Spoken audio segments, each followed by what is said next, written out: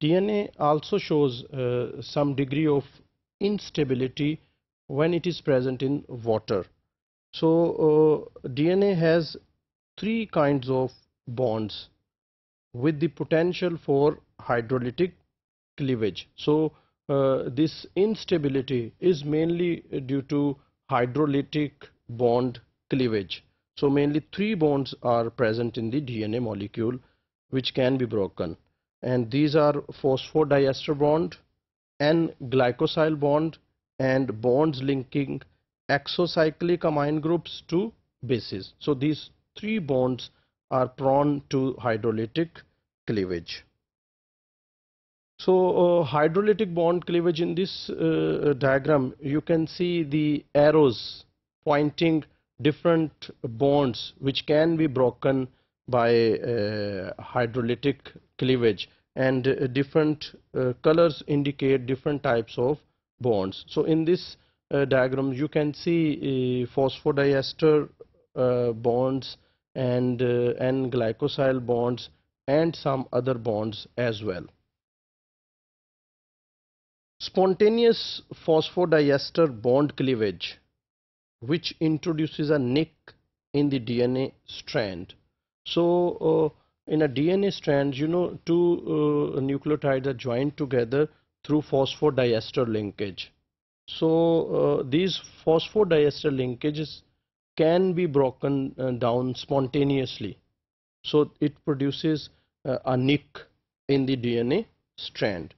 But this is of very rare occurrence and it doesn't make a significant contribution to the DNA damage. So, so uh, this is not uh, uh that uh, uh, significant as far as the DNA damage is concerned.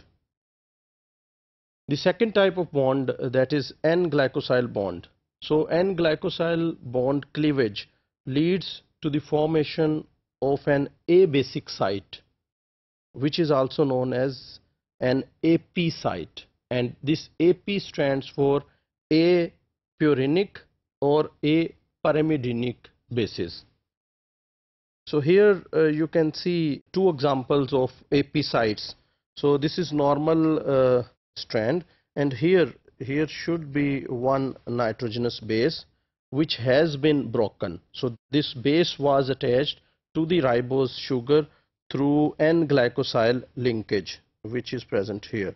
So this linkage was broken and now this AP site is produced. So this site is called AP site and this AP site has closed deoxyribose ring.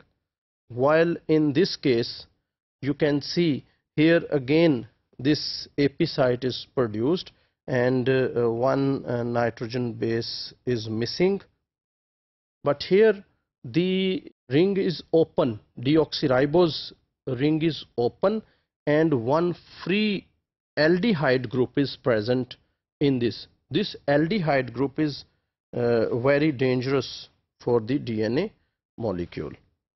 According to current estimates about 10,000 purine and about 500 pyrimidine bases are lost from DNA in a mammalian cell nucleus each day. So uh, you can imagine this is a big loss. And uh, uh, these are either lost or damaged by different agents. Experiments are also showing that purine N-glycosyl bonds are more easily hydrolyzed as compared to pyrimidine N-glycosyl bonds. So that's the reason uh, about 10,000 purines while only 500 pyrimidines are damaged. AP site formation sensitizes the neighboring 3' phosphodiester bond to cleavage which can be attributed to the formation of a free aldehyde group. So uh, uh due to the uh, AP site a free aldehyde group is present and this free aldehyde group it sensitizes the neighboring phosphodiester bond so uh, that bond uh, then uh, cleaves a DNA strand with one or more AP sites makes a poor template because it lacks the information required to direct accurate replication and transcription.